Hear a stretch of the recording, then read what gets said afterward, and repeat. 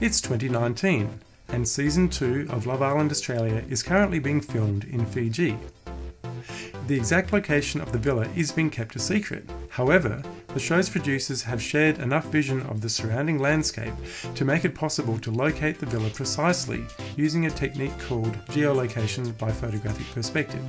Stick around and I'll demonstrate how it's done and reveal the exact location of the Love Island Australia villa for 2019. Here's Fiji viewed in Google Earth Pro. This archipelago has more than 330 islands, and the coastline is more than 1,100 kilometres long. The quality of the satellite imagery in Google Earth Pro is not fantastic, and the producers of the show tell us that they've renovated the villa significantly, describing the villa as unrecognisable. So once again, the chances of finding the villa by brute force searching is very low. So let's explore some of the clues that the producers have given us to see how we can narrow down the location of the villa. Clue number one is the most obvious. The villa is right on the beach. But in addition to this, we can also see the orientation of the villa is more or less parallel to the local shoreline. Here's a picture of the sunset taken from the villa, giving us clue number two. This edge of the swimming pool is parallel with the beach and the other edge of the swimming pool is at a right angle and gives us the direction of the view out to the ocean. We can then add in a new line of perspective to the sunset.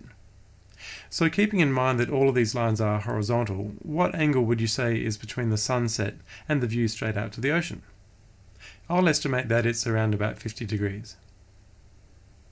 Clue number three comes from the Photographer's Ephemeris website which gives us some useful information about how the sun moves across the sky.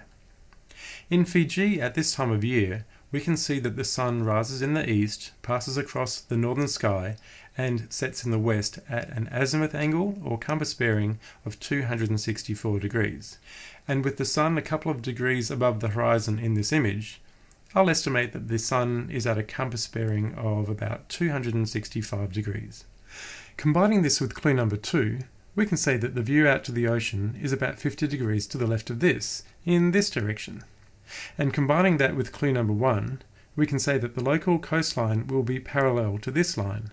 For example, here, here, here, here, and here.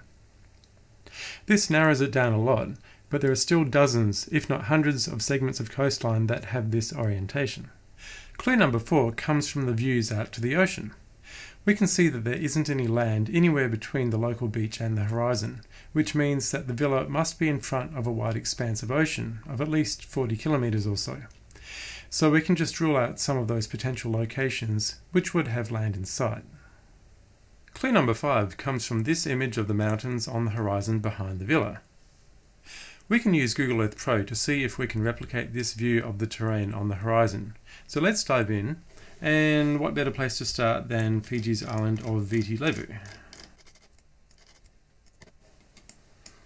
Let's get nice and close to the ground to about the same height as the drone that filmed this image.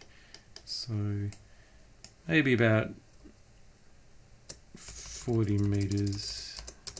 Cool.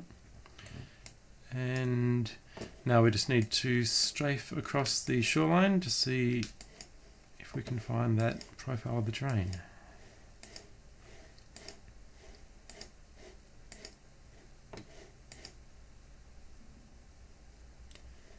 And that is looking pretty promising.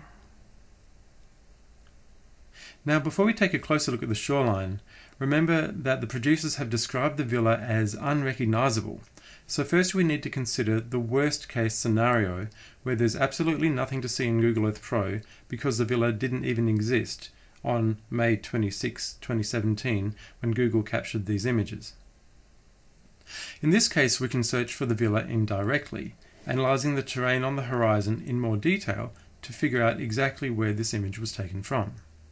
First let's have a look at this mountain in the distance and this hill in the foreground. Tiny adjustments of our position left and right have a big influence on the profile of these mountains on the horizon.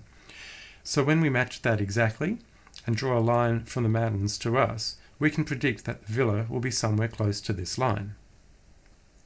And when we look at this other mountain in the distance and the hill in the foreground, and adjust our position from side to side to match that perspective.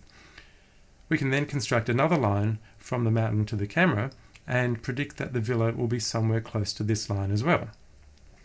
Now we have two lines of perspective, which literally put an X on the map, giving us a fairly accurate idea of where the image was taken from. So it really doesn't matter how extensively the villa has been renovated, or even if the villa didn't exist at all at the time Google captured these images, we can still figure out where these scenes of the surrounding landscape were photographed from.